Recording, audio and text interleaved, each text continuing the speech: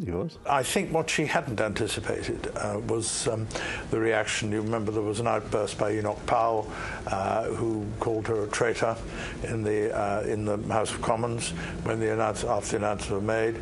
And actually, on the day of the signing, I remember very well that uh, she was very concerned because she arrived at Hillsborough.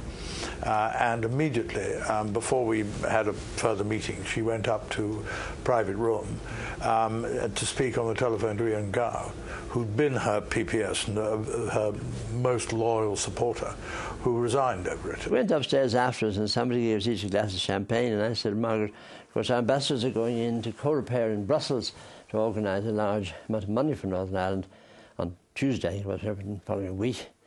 And she said, what? As you should know about it. She must have known about it. Oh, no, more money for these people, she said. Look at their schools, look at their roads. I need it for my people. She wasn't much of a unionist. I mean, she was, our sympathies lay with unions, certainly more than nationalists.